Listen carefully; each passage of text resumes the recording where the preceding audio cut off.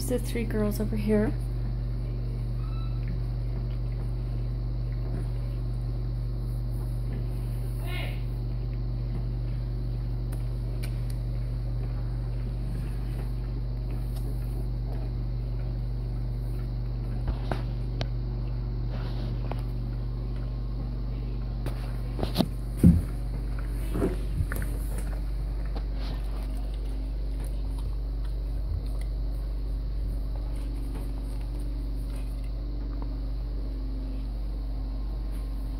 Hey guys.